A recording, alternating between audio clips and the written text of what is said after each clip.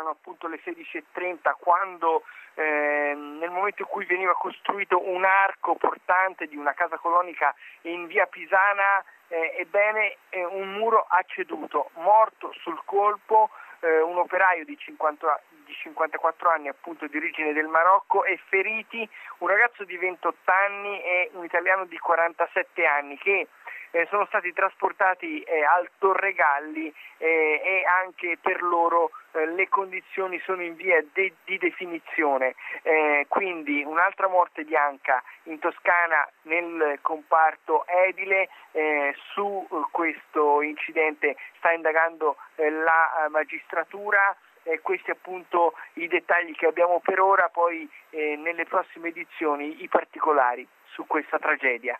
Linea studio.